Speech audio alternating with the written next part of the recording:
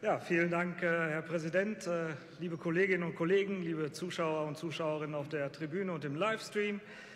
Wir beraten hier erstmalig über den Antrag äh, der FDP oder eigentlich über die Umsetzung der Studie, die der Landschaftsverband Westfalen-Lippe in Auftrag gegeben hat. Leider ist uns der Antrag der zugrunde liegenden Studie erst gestern zur Verfügung gestellt worden, beziehungsweise der, die Studie ist uns zur Verfügung gestellt worden erst. Dementsprechend kann und möchte ich hier diesen, diese Studie noch nicht bewerten. Wir haben die noch nicht abschließend ausgewertet. Um das gründlich zu tun, brauchen wir gerne mal einen Tag länger ähm, als anderthalb Tage. Dafür ist die Studie einfach zu komplex. Was ich hier allerdings kann, ist den Antrag durchaus wohlwollend zu begleiten.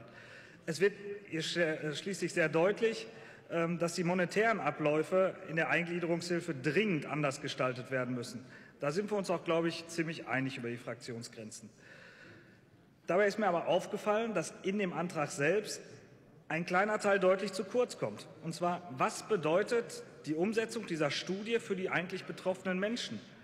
Zurzeit ist es ja so, ähm, dass seit Jahren die Erwerbsquote von Menschen mit Behinderung um ungefähr ein Drittel geringer ist ähm, als äh, bei den Menschen ohne Behinderung. Und die Rechte von Menschen mit Behinderung ähm, sind im Leistungsverfahren, mal vorsichtig formuliert, sehr suboptimal dargestellt. Das muss äh, dringend geändert werden, keine Frage. Auch das Spannungsfeld der Pflegeversicherung zur stationären äh, Eingliederungshilfe wird da immer größer. Glücklicherweise leben ja auch Menschen mit Behinderungen immer länger. Medizinischer Fortschritt, allerdings auch, und das äh, ist hier auch ein bisschen zu kurz gekommen, ähm, gleiten immer mehr Menschen äh, in dem Bereich, die vorher durch die Sozialhilfe ähm, äh, betreut worden sind an der Stelle.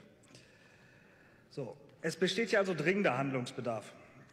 Das darf durch eine Neuordnung der äh, Finanzierung ähm, der Eingliederungshilfe hier nicht in den Hintergrund geraten, dass es hierbei um diese Menschen geht.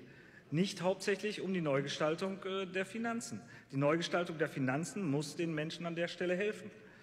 Und eine entsprechende gleichstellende Gesetzgebung, bei uns wäre das ja ein Bundesleistungsgesetz, wie es angedacht ist im Koalitionsvertrag in äh, Berlin, wird ja auch durch die UN-Behindertenrechtskonvention gefordert.